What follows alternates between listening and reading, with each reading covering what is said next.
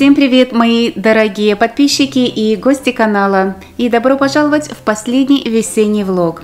Именно потому, что это будет наш последний весенний влог, он обещает быть очень насыщенным. Старалась переделать кучу дел и скажу сразу, что успела далеко не все, и поэтому буду показывать вам только то, что уже сделала. Прежде чем мы с вами примемся за работу, у меня для вас небольшая, но очень красивая прогулка. Это один из моих самых любимых домов, буквально на соседней улице в нашем городке. И здесь а, у них все идеально от архитектуры до того, как оформлена территория. Классический дом, можно приходить и заряжаться здесь, как говорится, идеями. Многие не верят, что в Нью-Хэмпшире дома такого калибра стоят не огороженные высокими заборами, без охранника при въезде в микрорайон. Вот это и есть типичный пример, когда мультимиллионный дом, возможно, он будет располагаться по соседству с другими более э, скромными домами, но не будет никаких заборов, не будет никаких выплат охранникам или каких-то выплат в ассоциацию. И это для вас штат Нью-Хэмпшир. В каком бы доме мы ни жили, важно то, как мы живем и как мы о нем заботимся, не так ли? У нас лично дома каждую весну, что тут таить, а, практически каждый сезон а, с моим мужем а, проходят сеансы так называемой трудотерапии, в которых обязательно должны участвовать дети. Раньше они стонали и возмущались, но постепенно они привыкли. И на этих выходных опять покрывали веранду. Сын в преддверии работы организовал все заранее, а, закупил специальные такие инструменты. Сейчас покажу вам все это в действии. Получилось у него отлично, здорово и очень быстро. Вместо трех дней работы мы уложились все в один день. Физкульт, привет всем нашим дачникам, потому что я знаю, что вы все на даче, и вам интересно посмотреть, что садят в Америке. А, не скажу, что многие американцы разводят огороды, но мой муж разводит. Сейчас мы в питомнике покупаем рассаду. Вот здесь у нас есть зеленый горошек, у нас есть а, такие желтые бобы. Зеленых у них не было. А, нужно будет съездить в другой питомник, и там найдем зеленые бобы, а, тоже всем нравится. А, или фасоль, вот такая стручковая фасоль называется так. Дальше у нас есть зеленый горошек здесь, а, два два вида салата. Надеюсь, что зайцы его не съедят. И у нас здесь есть свекла. Кто будет это все высаживать? Скорее всего, все будет это высаживать а, мой муж. А, сейчас, кстати, мне нужно будет поехать показывать дом. Дом мы с вами посмотрим в конце видео. И пока я ездила, показывала дом, я приехала, уже все было посажено. И здесь у них еще была очень замечательная рассада огурцов. Огурцы мы тоже докупили. А, я приехала, и он уже со всем этим справился. Ему на самом деле это нравится. Сейчас я вам покажу, что у него тут получилось. Если мы смотрим слева, здесь у него стоят помидорки. А, все вот такие мы их купили примерно две недели назад, он их высадил. А затем у него идет два вида салата, и затем у него идет свекла, и э, в самых последних правых рядах, по-моему, там у него посажены бобы. Так что э, пока вот в таком состоянии, посмотрим, как все будет разрастаться, и дальше, возможно, еще что-то туда добавит. А, я знаю, что многие пары любят вместе огородничать. У нас лучше всего получается, когда каждый ответственен за какую-то свою зону. Муж у нас отвечает за огород, а я отвечаю за цветы. Покажу вам, что тут сделала я. Пересадила все свои герани а, из дома обратно на улицу. Так я и делаю каждый сезон. Они у меня ездят туда-сюда. А, ну, жалко их выкидывать, и чтобы новые не покупать, я их пересаживаю на лето. Они у меня идут в кадушки, вот такие вазоны. А на зиму я их заношу домой. Так что вот убрала все а, желтые листья, и сейчас я их пересажу сюда. И, возможно, к ним нужно что-то будет а, добавить такое посимпатичнее, чтобы им было, как говорится, повеселее. Но пока на сегодня просто пересадить вот то, что у нас есть. Это все пойдет в вазоны. Посмотрите сверху на колонии, что у нас там есть. У нас там гнездо, которое построила Малиновка. И сейчас я показываю вам историю этого гнезда. Каждый год малиновки строят гнезда у нас вот на заднем дворе, а, стараются строить их на вентиляторе. И каждый раз мы их а, удаляем сразу же. Они их могут построить буквально за пару часов. Встают рано утром и начинают строить. Вечером уйдешь, ничего нет. И утром приходишь, уже свито гнездо. И мы их сразу же удаляем, вот именно если они на вентиляторах, потому что вдруг ненароком кто-то включит вентилятор, и все эти яйца разлетятся. Но это длится 3-4 дня, когда вот они хаотично пытаются свить себе себе гнездо. В конце концов, они находят безопасное место и свивают гнездо, а, допустим, внутри той или на колонии, вот как сейчас они сделали. Это все нормально, и до птенчиков там никто не доберется. Посмотрите, какие симпатичные птенчики у нас вылупились. По-моему, там два. Я особо не рассматривала, но то, что увидела, мне кажется, два птенчика. Так что у нас официально наступила весна, и скоро будет лето. Так что будем смотреть на первых птенчиков. Если я увижу, как они будут летать, я вам буду показывать. А сейчас здесь показываю вам, как я делала венок. Даже венок, чтобы делать, я открываю дверь и делаю это внутри дома, чтобы их не пугать. А один раз они свили гнездо прямо вот на этом венке, так что это было тоже здорово. Прям, когда открывала дверь, я заметила, что у нас там на венке сверху гнездо и были птенчики, но это было где-то пару лет назад. А, насчет венка, то, что я сделала, я к своему весеннему венку добавила такие яркие цветы. Мне кажется, выглядит более по-летнему сейчас. А, напишите свое мнение, какой венок вам больше нравится. На весну он у меня был просто из лаванды, а сейчас я добавила цветы. Э, следующим номером в нашей развлекательной программе сегодня это будет показ платьев. Не обещаю такой высокой моды, но будет реальный показ того, что я купила себе к этому лету. Все эти платья я буду носить на работу и уже носила на работу. Кстати, в некоторых я проводила стримы, вы их уже видели. Ну, кто не видел их а, во время стримов, можете посмотреть сейчас. Тем более я все вам буду показывать полный рост и а, как можно это дополнить какими-то аксессуарами или дополнить это верхней одеждой. Все три платья, которые я вам показываю сегодня, а, которые я купила для работы, все они трикотажные. Почему я выбрала а, трикотажные модели? Потому что они, во-первых, не мнутся. И мне по роду своей деятельности очень часто нужно ездить на довольно-таки длительные расстояния на машине. Так что это все удобно, и мне неудобно, когда платья длинные, а, значительно ниже колен, потому что в таких не очень удобно вести машину. Дальше по расцветке. Род моей деятельности, я продаю недвижимость. Э, не предрасполагает каких-то вот э, строгих костюмов. Вполне возможно носить что-то такое веселенькое, с принтом, как говорится, вселяющее надежду, э, и то, что помогает мне самой чувствовать себя хорошо.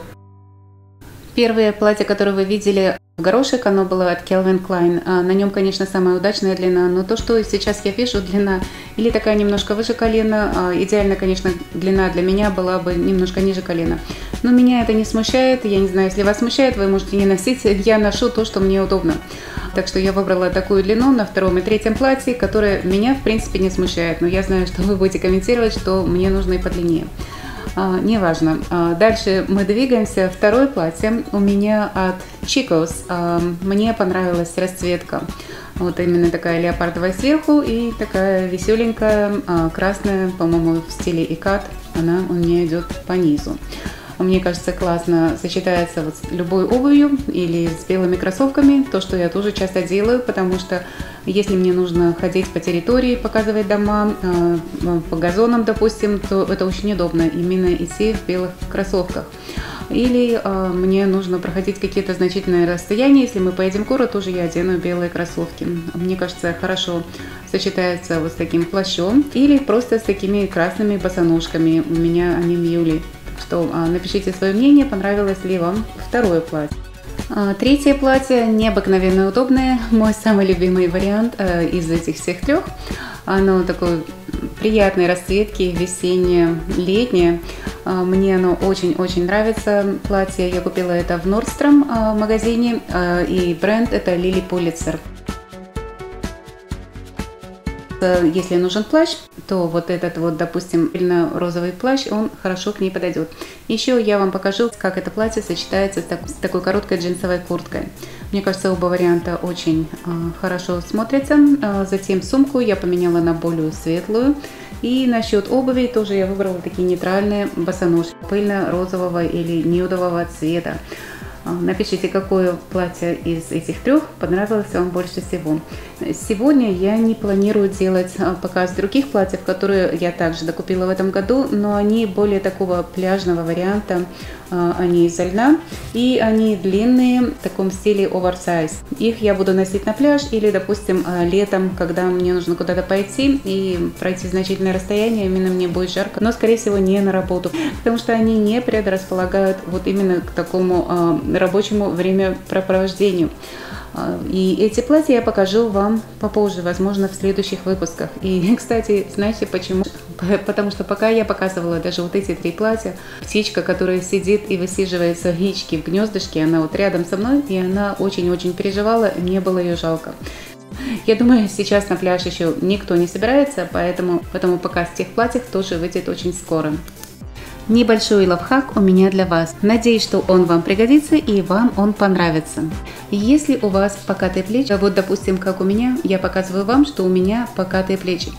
Приобретите такие самоклеющиеся подплечники и затем а, вы их просто приклеиваете на кожу и можете их использовать под любое платье. То, что они делают, они очень легко спрямляют линию плеч. Мне кажется, они на самом деле делают вашу фигуру немного стройнее. Вы можете приобрести их на разных сайтах. А, я слышала, что есть на AliExpress. Я купила свои на Амазоне. Оставлю ссылку под видео. А, очень легко их накладывать и смотрите, как легко обратно они приклеиваются. И мне кажется, что а, под любое абсолютно платье вы можете иметь одну или две пары таких подплечников. Они продаются в разных цветах даже. Я думаю, что это вам очень поможет. Особенно хорошо, я думаю, будет это все подходить, допустим, по такие мягкие а, формы одежды, допустим, под водолазку, под какие-то свитера. Ваши плечи и ваша фигура будет выглядеть гораздо-гораздо стройнее. Если вы спросите, ограничивают ли они движение, движения они не ограничивают, и сами они по себе не отклеиваются, если вы только не начнете их сами отклеивать. Так что эти подплечники для меня лично бесспорный плюс. На что еще я обращаю внимание, когда я выбираю платье, вот допустим для работы. Я обращаю внимание на форму выреза. А, лично для меня удобнее всего, когда нет никаких декольте и когда вырез а, под горло или а, вырез ботнек или в форме лодочки. Вот для меня лично, мне кажется, это самый такой удачный вырез именно для рабочего платья. Если я бы пошла на интервью, я, естественно, не надела бы никакие платья, которые сейчас я вам показываю. Скорее всего, это бы был какой-то строгий костюм. Но если мы работаем с клиентами, которыми у вас уже есть какие-то отношения, они не хотят видеть нас каждый день в каком-то таком официальном рабочем костюме. Это выглядит неестественно, и это а, не вселяет какого-то доверия. Выглядит так, что вы чересчур сильно стараетесь.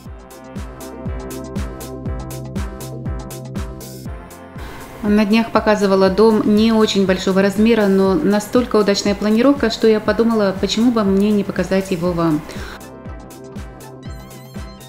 Этот дом является кондоминиумом. Кондоминиумы в Америке могут быть как а, квартиры, к которым вы привыкли, то есть они в многоэтажном доме, а также это могут быть отдельно стоящие дома, но которые не имеют а, какой-то своей конкретной территории, а вся территория принадлежит комплексу.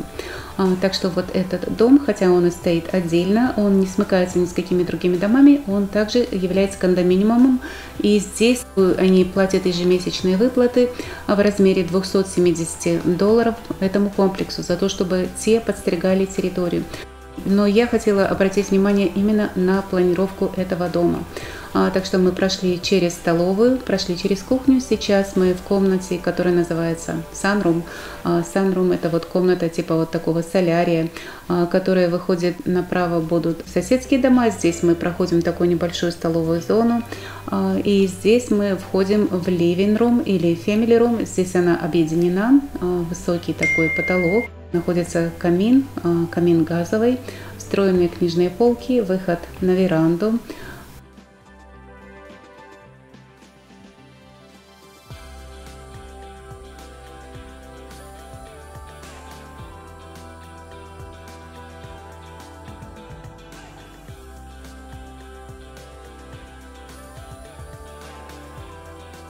Сейчас мы вышли из гостиной и мы пройдем а, в master bedroom, то есть это спальня, а, хозяйская спальня на первом этаже. Она очень просторная.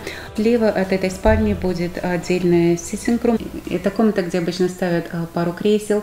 Там можно сесть, прочитать книгу, посмотреть телевизор. Вот как у них здесь сделано. Даже у них там есть камин. Так что вот отдельная дополнительная комната для хозяйской спальни. Мы повернулись и идем по направлению к ванне. Слева и справа у нас гардеробные, мужская и женская. И сейчас мы уже в хозяйской ванне. Отделка здесь совершенно простая, но ванна а, по размеру очень просторная. Так что если кто-то хочет улучшить отделку в будущем, то они очень легко могут это сделать. Как говорится, вся основа здесь заложена. Мы выходим из спальни, слева и справа у нас остаются гардеробные.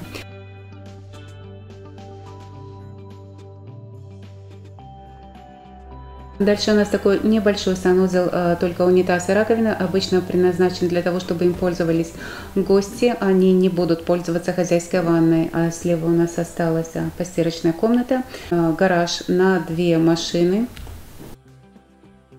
И дальше встроенные плательные шкафы для хранения какой-то верхней одежды.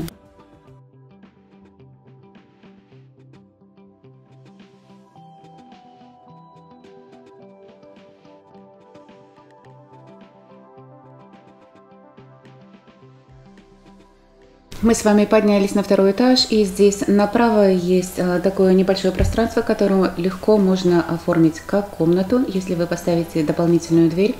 Э, и также здесь есть отдельная небольшая спальня. То есть э, на втором этаже место у вас будет для двух спален, ванная комната. И затем на первом этаже одна хозяйская спальня. Но это еще не все. Мы сейчас с вами посмотрим, как интересно здесь устроен подвал. Особенности всех домов в Новой Англии, за исключением того, когда они построены на озере, а, где, допустим, есть угроза затопления, а, всегда а, подвалы очень хорошо оформлены в большинстве случаев. И вот здесь вы сейчас увидите, что у них здесь есть даже двери, которые выходят на улицу. И здесь пространство было использовано по максимуму. Э, отдельная кухня, отдельная столовая зона, отдельная жилая зона. Если приехали гости, допустим, здесь э, прекрасно они могут остановиться с полным комфортом. Из-за того, что при постройке дома рельеф местности был использован очень хорошо, это тип бейсмента, который называется walkout basement, то есть э, в прямой рост у вас есть двери, никакого ограничения по высоте потолков, и вы выходите прямо на задний двор. А, это очень-очень удобно, и, и всегда, когда будет возможность в Новой Англии, дома будут построены именно так, что сзади а, в доме будет три уровня, допустим, на переднем дворе у вас будет два уровня.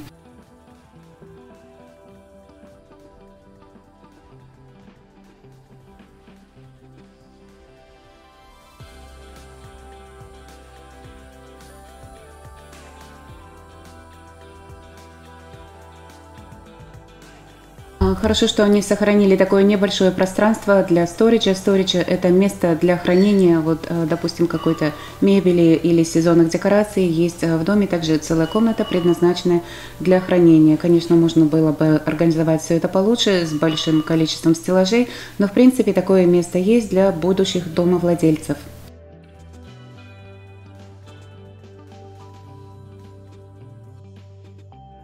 Я надеюсь, что это видео было для вас интересным и благодарю вас от всей души, что вы провели это время вместе со мной. Всего вам самого доброго и до следующих встреч!